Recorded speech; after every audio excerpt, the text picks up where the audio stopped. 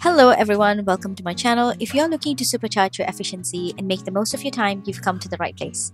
In today's video, I'm going to show you how I do my monthly planning in my HP Classic Size Franken Planner. First of all, I take out my pre-printed monthly and weekly insert. I have made this insert undated so that it's easier for me to just print it out and fill it in with dates any time of the year. If you're interested to have the inserts, it's available for you for free at the link in the description box below. These are only available in the HP Classic size by the way. Next, I add my simple monthly budget inserts, which I have also made as well. It's not a fancy inserts, it's just a simple system that works for my family. For this month, I'm trying something new, so I'm adding the cloth and paper October month inserts to fill in my content creation work in here later. I do my monthly planning about a week before I enter new month so that the transition does not disturb my workflow. So I don't take out the previous month's inserts for now, I just leave them there until the month ends. I use my Happy Planner stickers and some washi tapes to decorate the front page of my monthly inserts. And those six boxes are meant for my monthly goals, which I keep track of, and some motivational stickers.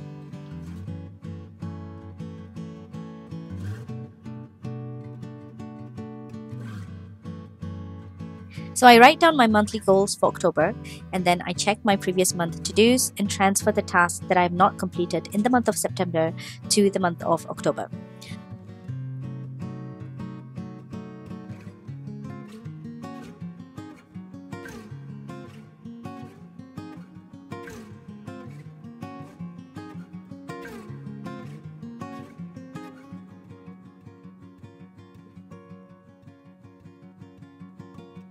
I also take a look at my digital calendar to trigger more to-dos for the month.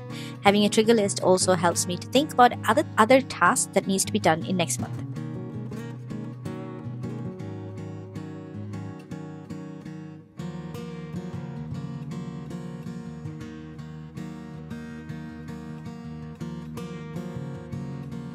I use the color dot pens to mark the tasks so that when I'm done with the task, I can just tick off the vibrant color also makes the page more attractive looking.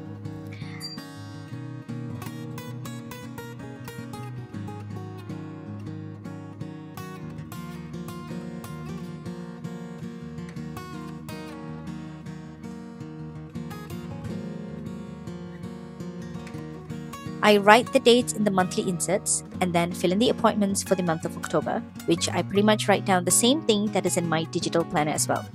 The reason why I also write in the Franken Planner is because there are days where I don't want to use the digital planner because of a few reasons such as eye strain or avoiding distraction.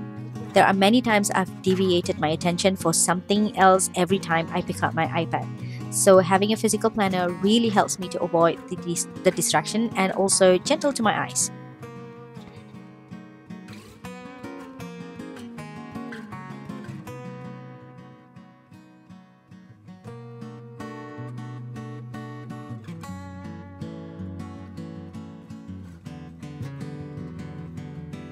Next, I color code the appointments to differentiate between personal, family, and professional appointments.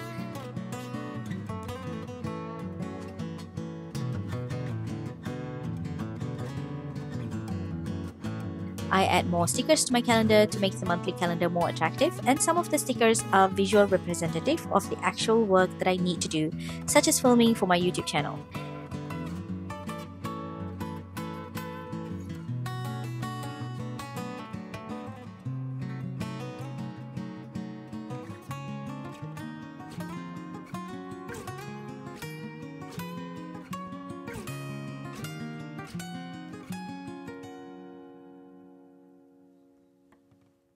Next, I update the birthdays of family and friends because there are days where I've actually forgotten to wish when I did not write them down.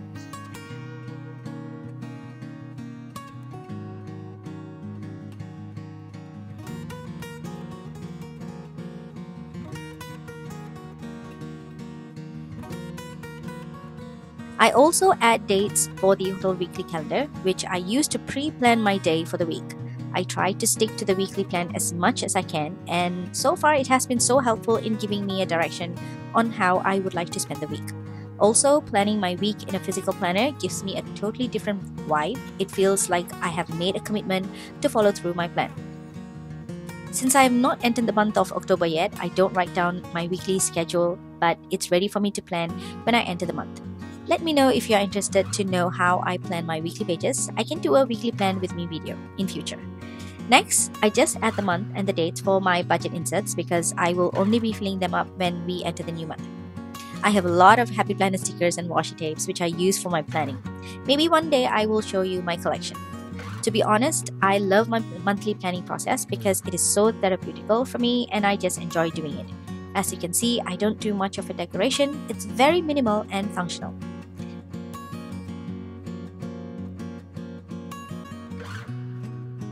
So that's it, I'm done. It took me about 45 minutes to do this.